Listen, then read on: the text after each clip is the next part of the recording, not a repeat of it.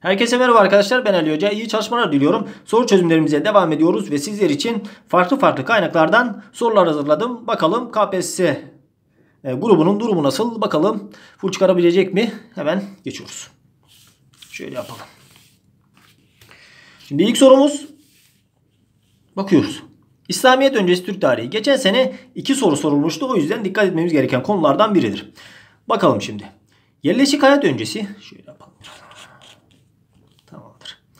Yerleşik hayat öncesi Türk devletlerinde askerlik, savaşçılık, göçebelik ve hayvancılık önemli bir yaşam tarzıdır. Türklerdeki bu anlayış ilk defa hangi Türk devleti döneminde değişikliğe uğramıştır. Değerli arkadaşlarım biliyorsunuz ki e, İslamiyet öncesi Türk devletleri genellikle konar, göçer bir yaşam sürerlerdi değil mi? Ama ilk defa bir devlet yerleşik hayata geçmiş ve bu durumu değiştirmiştir. Asya Hun Devleti Orta Asya'da kurulan ilk Türk devletidir. O yüzden böyle bir durumdan bahsedemeyiz. Uygurlar bırakalım Kutluk Devleti İlteriş Kağan önderliğinde kurulan bir devlettir. Çin'in baskısına boyun eğmeyerek devlet kurulmuştur. Tamamdır. Avrupa Hun Devleti Balamir önderliğinde kurulmuştur. Ayrıca Balamir kavimler göçüne sebep olan Avrupa Hun hükümdarıdır. Bunlar da Bunlarda da böyle bir durum yok. Göktürk Devleti Bumin Kağan tarafından kurulan bir devlettir. Sevgili arkadaşlarım Uygurlar biliyorsunuz ki yerleşik hayata geçtikten sonra mimari eserlere ağırlık vermiş ve özellikle Bögü Kağan döneminde şöyle yazalım. Bögü Kağan döneminde Mani dininin kabul edilmesiyle artık savaşçılar et yemeyecekti. O yüzden oldukça önemli gelişmeler yaşanmıştı. Cevabımız B şıkkı. Geldik diğer bir sorumuza şimdi. Bakıyoruz. 13. yüzyıl ortalarından itibaren yaşanan gibi gelişmeler aşağıdaki savaşlardan hangisinin sonucunda gerçekleşmiştir? Bakalım bizlere ne gibi gelişmeler verilmiş. Anadolu'ya İlhanlıların hakim olması, Türkiye Selçuklu Devleti'nin otoritesini kaybetmesi, Anadolu'da birçok Türkmen Beyliği'nin kurulması sonucu Türk siyasi birliğinin bozulması. Köse Dağı bir bırakalım. Pasinler Savaşı Büyük Selçuklu Devleti ile Bizans arasında yapılan ilk savaştır. Yas Sıçimen Anadolu Selçuklu Devleti ile Harzem Çağlar arasında yapılan savaştır. Harzem Çağlar'ın yenilgisiyle sonuçlandı. Talas Savaşı e, Müslüman Araplarla Çinliler arasında gerçekleşen savaştır. Karlukları unutmuyoruz. Malagit Savaşı yurt açan savaş olarak bilinir. Alparslan ile Roman Diyojen arasında gerçekleşen savaştır. Cevabımız Köse Dağı'dır. Sevgili arkadaşlarım Köse Dağı Savaşı'ndan sonra İlhanlılar Anadolu'ya hakim olmuştur ve Türkiye Selçuklu Devleti zayıflama sürecine girmiştir. Geldik diğer bir soruya şimdi. Osmanlı kuruluş dönemi. Osmanlı Devleti'nin kuruluş döneminde mücadele ettiği devletler arasında aşağıdakilerden hangisi yer almaz? Bizans İmparatorluğu e, örnek verecek olursak ilk savaş Koyunhisar'dı değil mi? Osmanlı dönemi tamamdır. Macar Krallığı'yla savaş yapıldı mı? Tabii ki yapıldı Macar Krallığı'yla. Çünkü Macarlar, Sırplar bunlar Haçlı Birliği'nin içindeydiler. Doğrudur. Rus Çarlığı'nı bırakalım. Timur İmparatorluğu'yla biliyorsunuz ki Ankara Antlaşması yap e, Ankara Savaşı yapıldı ve Osmanlı Devleti dağılma tehlikesiyle karşı karşıya kaldı. Sırbistan Krallığı'yla savaş yapılmıştır. Ancak Rus Çarlığı'yla herhangi bir savaş yok. Ki zaten Ruslar Altın Orda Devleti'nin yıkılmasından sonra tarih sahnesine çıkacaktı sevgili arkadaşlarım. Cevabımız C şıkkı. Osmanlı Devleti'nin duraklama dönemine denk geliyorlar. Bakalım diğer soruya. Bakıyoruz. Islahat fermanı Aşağıdakilerden hangisi 1856 yılında ilan edilen ıslahat fermanı ile ilgili doğru bir bilgi değildir? Islahat fermanı azınlıklara geniş ayrıcalıkların verildiği ferman. Padişah Abdülmecit döneminde ilan edilmiştir. Doğru mudur? Doğrudur.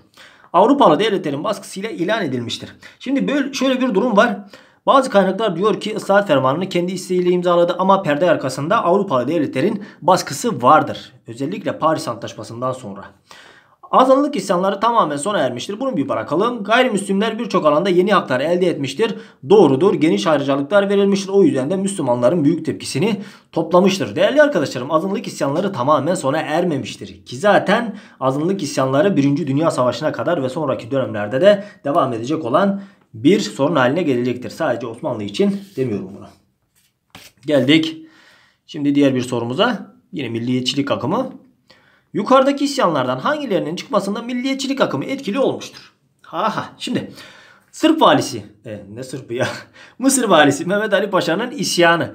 Sevgili arkadaşım bunun milliyetçilikle alakası yok. Kavalalı Mehmet Ali Paşa Yunan isyanını bastırdıktan sonra kendisine Mora valiliğini istedi. O yüzden isyan etti ve zaten Osmanlı'nın başına büyük bela oldu.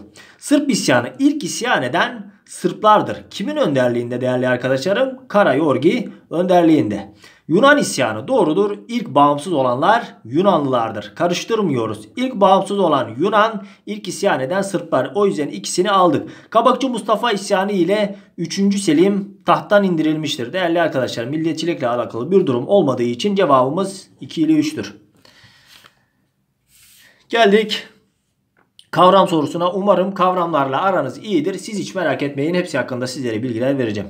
Osmanlı topraklarında bulunan yabancı tüccarlara, gezginleri ve elçileri güvenlikleri devlet tarafından garantiye alındığını gösteren belge aşağıdakilerden hangisidir?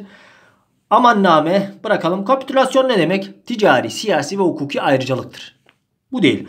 Hattı humayun ne demek? Padişahın bizzat yazdığı fermanlardır ya da yazılardır. Tamam. Berat padişahın onayı demek. Padişah onay verirse başka rütbeye atlayabilir. Fütüvvetname özellikle Anadolu Selçuklu Devleti döneminde oluşturulan esnaf örgütüdür. Yani Müslümanlardan oluşan esnaf grubudur. Cevabımız burada amannamedir. Değerli arkadaşlarım. Anladık değil mi? Geldik diğer bir soruya şimdi. Biraz. Bakıyoruz.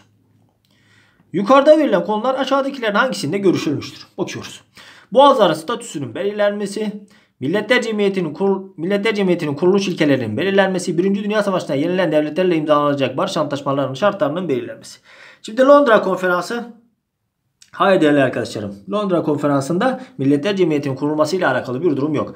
Brand-Kellogg Paktı dünya barışını korumak amacıyla ABD'nin önceliğinde, öncülüğünde toplanmıştır. Litvino Paktı 1929 yılında SSCB tarafından oluşturulan bir paktır. Paris Barış Konferansı'nı bırakalım. Sanremo Konferansı'nı sevgili arkadaşlarım Senet Antlaşması'nın taslağı görüşülmüştür. Cevabımız Paris Barış Konferansı'dır. Değerli arkadaşlar Milletler Cemiyeti zaten kurulacaktı. Geldik Mustafa Kemal dönemine şimdi. Yakınlaştıralım biraz. Tamamdır. Aşağıdakilerden hangisi Atatürk zamanında meydana gelen gelişmelerden biri değildir? İlk genel nüfus sayımının yapılması doğrudur. 1927 yılında ilk nüfus yapıldı ve nüfusumuz 13.6 idi. Değerli arkadaşlarım. Türk Parasını Koruma Kanunu'nun çıkarılması doğrudur. Mustafa Kemal dönemi. İstatistik Umum Müdürlüğü'nün kurulması keza aynı şekilde doğru. Osmanlı borçlarının ödenmesinin tamamlanması bunu bırakalım. Merkez Bankası'nın kurulması 1930 tarihine tekabül etmektedir. Sevgili arkadaşlarım Osmanlı borçları 1952'ye kadar ödenecekti. O yüzden cevabımız D şıkkıdır. Anladık değil mi? Geldik diğer bir soruya şimdi. 1921 yılında Lenin tarafından ilan edilen NEP NEP politikalarının temel amaçları arasındaki arasında aşağıdakilerden hangisi gösterilebilir? Şimdi değerli arkadaşlar, Bolşevik devriminden sonra Bolşevik devriminden sonra e, ekonomi çökmüştü. O yüzden Lenin önderliğinde Novaya Ekonomika politikası devreye girdi. Buradaki amaç ekonomiyi iyileştirmekti. Bakıyoruz şimdi Türkiye ile ticari ilişkileri arttırmak alakasız. Liber, liberal politikalara öncelik vermek. Liberal ne demek? Serbest piyasa ekonomisi demek. Buna da ulaşamayız. Hitler'in yaymacı politikalarına engel olmak. Hitler daha ortada yok. Hitler gelecek ama. ABD ile iyi ilişkiler kurmak ABD Monroe doktrinini benimsiyor. Cevabımız bozulan ekonomiyi düzeltmekti. Geldik diğer bir geçen senenin sorusu. Umarım yanlış yapmazsınız. Geçen sene bu soru soruldu. Dikkat ediyoruz sevgili arkadaşlarım. İkinci Dünya Savaşı'na giden dönemde İngiltere Başbakanı Chamberlain ile özdeşleşen, özdeşleşen İngiliz politikasının adı nedir? Geçen sene soruldu. Umarım çoğunuz doğru yapmışsınızdır. Mecnun not hattı e, Fransızların Almanya'ya karşı yapmış olduğu bir hattır ve Almanlar bu hattı geçecekti. Hayat sahası Hitler'in politikasıdır. Alman ırkına Topraklar yetmiyor. Yatıştırma politikasını bırakalım. Normandiya çıkarması Fransız işgalini sonlandırmaktı. Monroe doktrini ABD'nin yalnızlık politikasıdır. Değerli arkadaşlarım buna infrat politikası diyoruz. Cevabımız yatıştırma politikasıdır. Hatta Chamberlain ne yapmıştır biliyor musunuz sevgili arkadaşlarım? Bu politika için Südetler bölgesini Hitler'e vermiştir. Savaşın önüne geçmek için. Geldik diğer bir soruya. Bakıyoruz. Çekoslovakya'da 3,5 milyon Almanın yaşadığı ve Hitler tarafından işgal edilmek istenip 29 Eylül'de 1938'de düzenlenen Münih Konferansı ile Almanya'ya bırakılan bölge aşağıdakilerden hangisidir? Ren bölgesi değerli arkadaşlarım 1936 yılında Almanya bu bölgeye asker çıkaracaktı. Bu değil. Saar Hitler halk oylamasıyla bu bölgeyi ele geçirecekti. Tamamdır. Südetleri bırakalım. Danzig işgal edilen ilk yerdir. İkinci Dünya Savaşı'nı körükleyen yerdir. Polonya, Polonya'nın işgaliyle İkinci Dünya Savaşı başlıyordu burada. Bir demedim değil mi? İkinci Dünya Savaşı dedim. Cevabımız Südetler bölgesidir sanırım. bir önceki soruda cevabını verdim. Sorularımız bu şekildeydi. Umarım işinize yaramıştır. Umarım full çıkarmışsınızdır. Duygu ve düşüncelerinizi yorumda belirtebilirsiniz. Beğenmeyi unutmuyoruz. Bilgiyle kalın, tarihiyle kalın, kültürle kalın. Hoşçakalın.